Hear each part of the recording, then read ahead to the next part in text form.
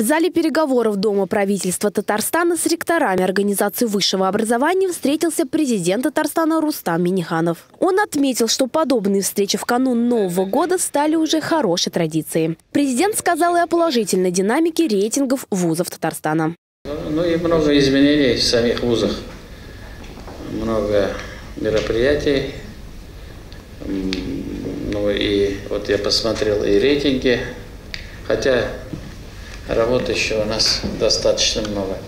Рустам Миниханов обратил внимание на то, что сегодня Академия наук Республики Татарстан, Российская Академия наук и вузы республики – это единое звено, работу которого необходимо обеспечивать на самом высоком уровне. А ректор КФУ Ильшат Гафуров озвучил несколько ключевых вопросов в области науки и образования на ближайшие годы. Он рассказал и о достижениях Казанского университета, и проектах, которые достойно представляют Татарстан в мировом сообществе. Встреча носила неофициальный характер, а по ее результатам удалось принять несколько важных решений. Анна Глазунова, UniverNews.